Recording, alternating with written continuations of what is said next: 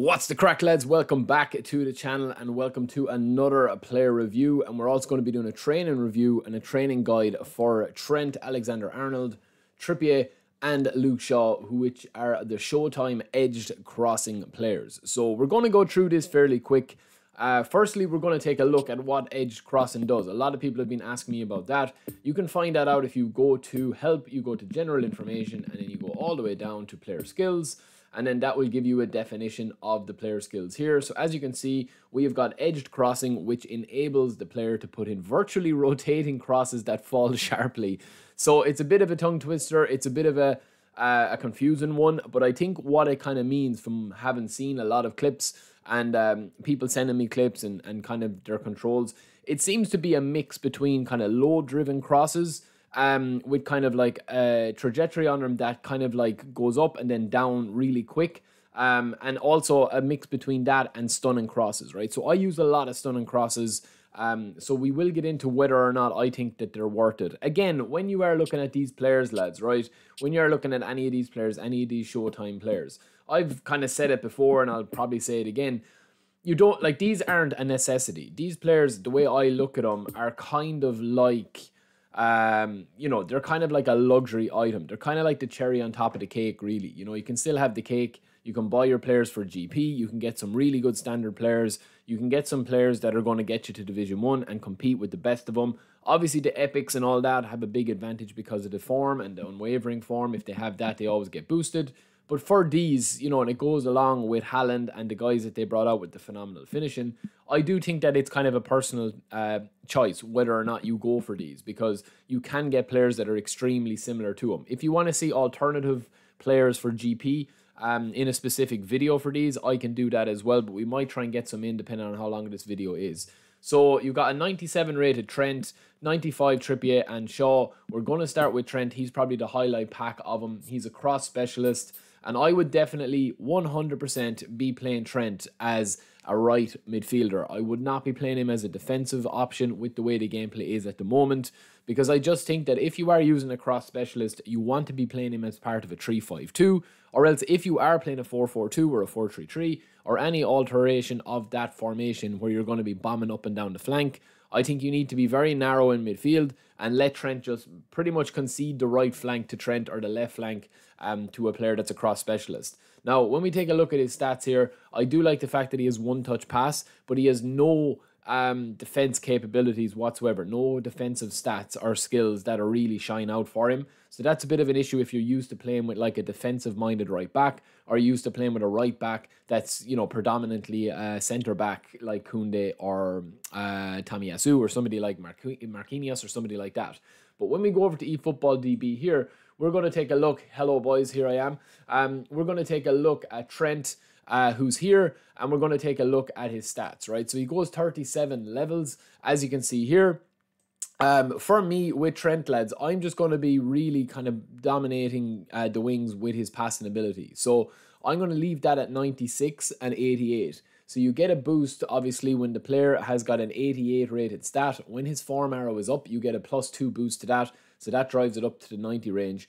Um, you've also got the dribbling. I probably, if I'm going to be playing him as a right wing back, I do want to have that as well. Um, once tight possession is going to go up to 80, we're happy enough with the rest of the stats there. And obviously with dexterity, we're going to go as high as we can with that because we do want that acceleration and we also want the balance. So we'll probably go 78 with the balance there, 85 with the offensive awareness. And then the rest is going to be kind of pick your poison as to where you want it. Now, I personally feel that 84 is enough speed. Um, I genuinely think that speed is kind of one of those cases where some people rave about it and say, yeah, there's such a difference between 90 speed and 80 speed. With the way the defense is at the moment, it is kind of more. Um, I'm actually going to hide my webcam here, lads. It is kind of more. Um, it is more about, in my opinion, the ability to be able to use um, a player the way you want to use him. So if you do find yourself chasing a lot of ball, you can pop that up and get it to 87. You'll have 87 speed, 87 acceleration. Now, in saying that, you could also, you know, cap this back off here and have 88 acceleration, which will bring it into the 90 zone, which I think is probably where I'd go. So you'd have 88 low pass, 96 lofted pass. Dribbling is fine, offensive awareness is fine. You've got a 95 rated right back. that's going to really kind of play as a right midfielder. He goes to a 98 right midfielder there. That is where I would play him, and that's where I think he would come into his own the best. You're really kind of neglecting defensive capabilities um, there because even if you train up his defensive capabilities, lads, you are conceding a lot um, with the stamina and with everything else. Um, and even at that, you're only going to get the aggression up to about an 80. So I would not kind of shoehorn him in. Um, you still have a very dominant player there if you have 96 lofted pass. Um, you know, an acceleration and speed are still high. But I definitely think go the other option with him. Just ignore defending. If you wanted to put the aggression up to like 72 you, or 73, you could do that um, to get the, the boost to defensive engagement and tackling over 75, which would probably be good. Um, but I definitely think having the acceleration high is where I would go with this card. So that's just my personal opinion on him. Um, next up, we have got uh, Trippier, who plays for Newcastle. He's had a fantastic season for them, has been one of their best players. He's got double touch, or actually, no, sorry, these player skills I think need to be updated. So let me just go back here a second and double check because I think the player skills are a little outdated here. They need to be upgraded.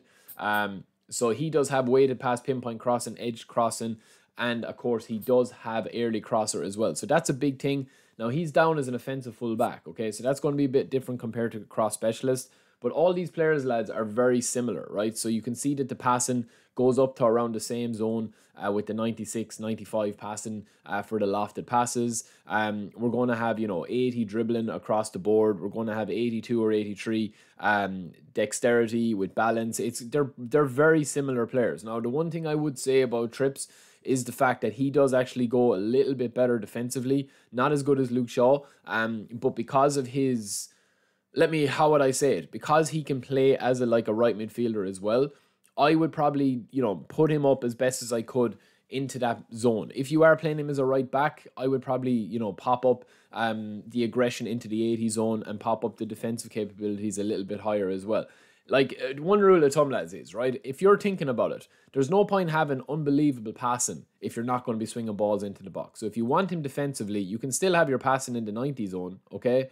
Um, especially with the low pass, but you can have your defensive capabilities quite high if you want to go that route with him. It just depends on what type of player that you want. He's a good player. And then last but not least, we have Luke Shaw. So Luke Shaw is in a similar position. He's actually more solid defensively. So I would definitely upgrade his defense and have him as kind of a player that plays left back. Um, instead of like you know left midfield, uh, I do think that his capabilities and his speed and everything are suited to a left back. He doesn't have early crosser as his play style um, compared to the other two boys. He does have pinpoint crossing and true passing though, and he is on standard form, and he does have blocker and interception. So those blocker and interception stats is what ties it for me, or what swings it for me to raise up his aggression, his tackling, and his defensive stats there. And then also you can just put a bit of an engine on him. You know, you can go to the eight on that, you can go to the eight on that, you can go to the four on that, or maybe even six on that and then you can go 10 on passing or whatever you want to do to get the passing up. You're not going to be passing as much um, with Luke Shaw, I would say. I mean, if you get into the position that you can go up the pitch, you can still have, you know, 91 plus with the pinpoint crossing and the um the edged crossing there. I mean, obviously over over kind of compensating for that. But you know, I would definitely uh, improve his physicality and improve his defensive capabilities. I would even go, if you're looking for a defender, I would go 90 aggression. Uh, it's a bit of a pity he can't pay, play centre back because you could put lovely ping balls in, kind of Pirlo esque balls in over the top. But yeah, that is just a quick video on the three boys. Um, if you want alternatives to these lads, obviously you're not going to be able to replicate the edged crossing one um, because that's a unique player skill to these players. But if you do want an alternative to these players, let me know and we will do one of that. I mean, obviously, just really quickly, one good alternative is uh, Grimaldo, this guy from Benfica. He's a very good player, very good attacker. His player of the week version was good as well. But if you do his standard version, you can get, you know, speed, dribbling, and passing very similar to these three boys. Obviously, it's not going to be a direct uh, replacement for him.